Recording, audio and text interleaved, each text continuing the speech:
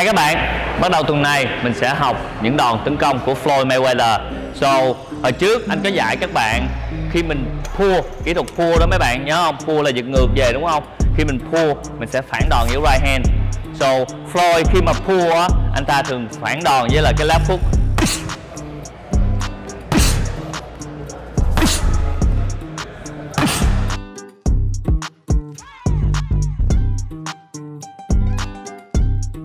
So anh nhắc lại cái động tác pull. So khi pull anh sẽ bước chân sau. Anh khuỵu xuống để anh ngã ngược mình người mình lại đúng không nào? Khi mình ngã ngược lại bạn này quýnh cái hút cho anh. À, à, à.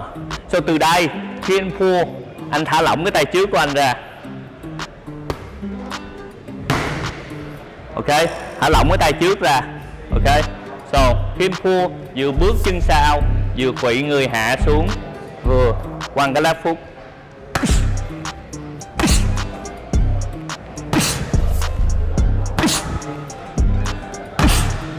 Ok.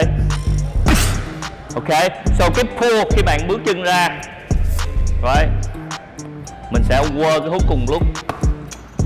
Các bạn hãy bắt đầu thật là chậm nha, để bắt được nhịp cơ thể mình, kết nối cái chân mình với là cái tay của mình vô mới được nha.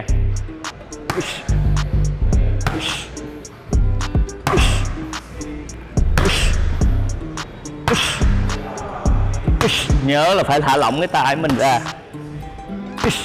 Ok.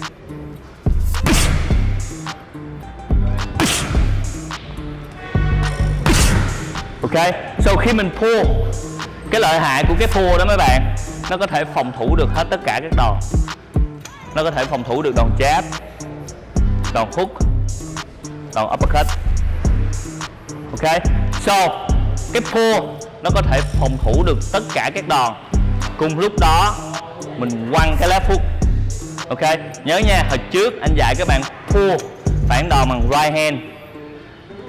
Tuần này mình học thua, nhưng mà mình phản đòn lại bằng left hook anh hy vọng là kỹ thuật tuần này sẽ giúp các bạn hiểu ra được vấn đề về trọng lượng cơ thể và thả lỏng cái tay trước của mình ra và hãy nhớ nhận lì xì của anh chỉ còn hai ngày nữa thôi là sẽ hết chương trình lì xì.